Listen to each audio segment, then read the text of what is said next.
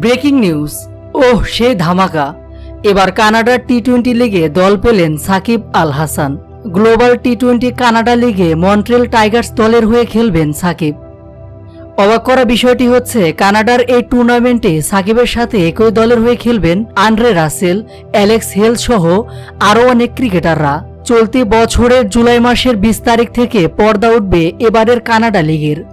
এদিকে এর আগে সাকিবকে দুই হাজার উনিশ সালে গ্লোবাল টি টোয়েন্টি কানাডা লিগে ব্রামটন ওলসের হয়ে খেলার জন্য নির্বাচিত করা হয়েছিল। কিন্তু ব্যক্তিগত সমস্যার কারণে সে বছর লিগটিতে খেলতে পারেননি এই বিশ্বসেরা অলরাউন্ডার। প্রিয় দর্শক, বিষয়টি নিয়ে আপনাদের কোনো মন্তব্য থাকলে আমাদের কমেন্ট সেকশনে জানাতে পারেন। ধন্যবাদ।